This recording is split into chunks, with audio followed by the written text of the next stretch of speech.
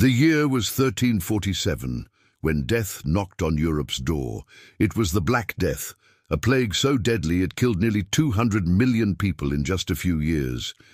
It all started with a rat on a ship, carrying a deadly bacteria called Yersinia pestis. People developed black sores, high fevers, and within days they were gone.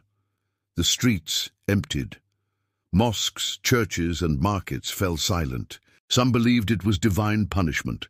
Others blamed the air, the stars, or even strangers.